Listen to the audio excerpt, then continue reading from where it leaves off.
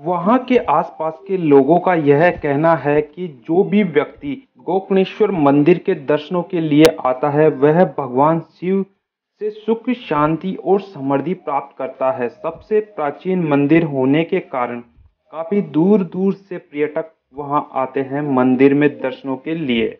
यह गोकर्णेश्वर मंदिर बिसलपुर बाँध